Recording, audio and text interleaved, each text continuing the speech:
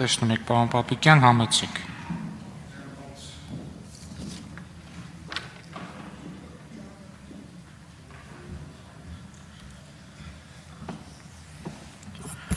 Հարգելի գործընկերներ,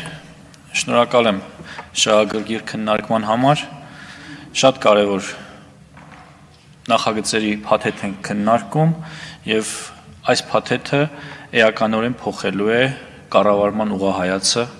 պաշտպանության նախարարությունում եւ զինված ուժերում։ Սա մի օրինագծերի փաթեթ է, որը ճիշտ նկատեց պարոն Քոչարյանը, որ մեկ օրում չէ ծնվել սրա անհրաժեշտությունը, Սա դասեր քաղելու, այո։ Ցիտեմ ձեզ դասեր քաղելու նախագիծերի փաթեթ է, որովհետև մենք դառը փորձ ունենք, կյանքը մեզ ցույց է տվել, որ շատ հարցերում մենք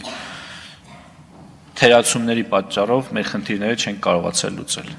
Խնդիրը անձերի մեջ չէ ամենևին, խնդիրը համակարգային է։ Եվ սա այն ճանապարհն է, որի միջոցով մենք փորձելու ենք համակարգային փոփոխությունների գնալ եւ ըստ էության համակարգը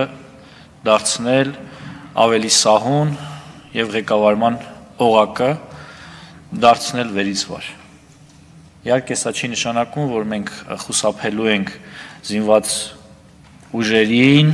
նախարարության կողմից, նախարարի կողմից քաղաքացիական վերահսկողություն իրականացնելուց, բայց սա նաև չի ենթադրում, որ մենք խուսափելու ենք քաղաքական պատասխանատվություն կրելուց։ Շատերը խոսում են նրա մասին, որ փորձ է արվում զինված ուժերը ենթարկել նախարարին։ Նախ զինված ուժերը ենթարկում են նախարարին, դա փորձ չի, շատ հստակ քայլ է, այո, զինված ուժերը պետք է ենթարկվեն պաշտպանության նախարարին եւ գերագույն հրամանատարին։ Որպիսի տարընթերցումների ու այլ հարցեր չառաջանան, ես շատ հստակ եմ ասում, այո։ Իշխանությունը, որը ժողովուրդը արտոնել է մեզ, մեզ իրավունք է վերապահում իրացնել ամբողջությամբ եւ մենք պատրաստվում ենք մեր իշխանությունը իրացնել ամբողջությամբ։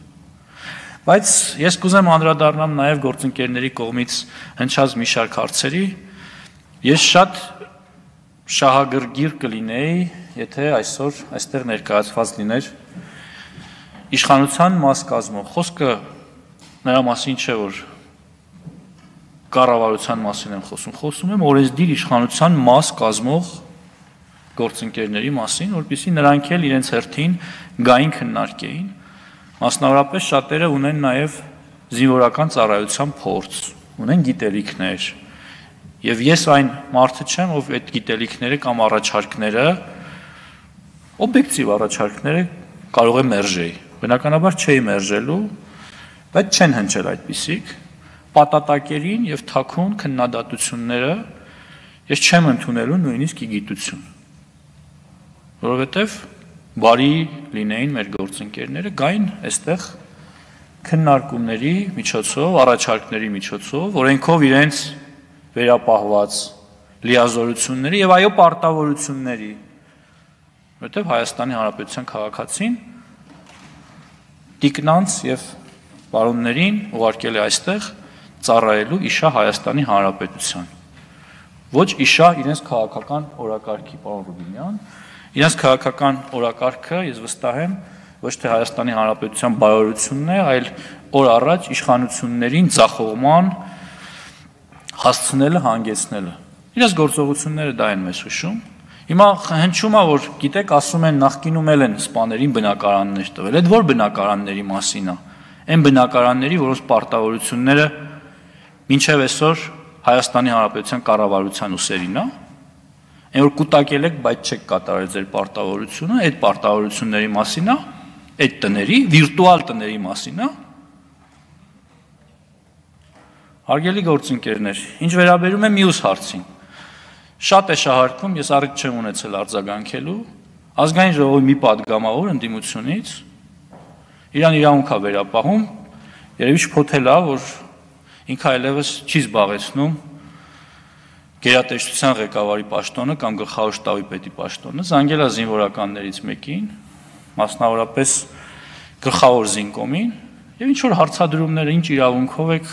զորակոչում ընդդիմության երիտասարդներին, պատանիներին։ Ժողովուրդ դուք Հայաստանի Հանրապետության քաղաքացի եք, թե ոնց։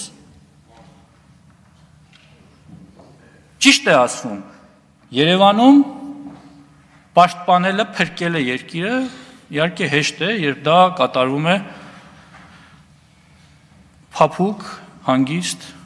բայց իհարկե չեք փրկում, դուք ընդհանրապես անում եք այն, ինչի մասին խոսեցի։ Փորձում եք մեզ մղել դեպի անորոշություն, մեր երկիրը տանել դեպի անոր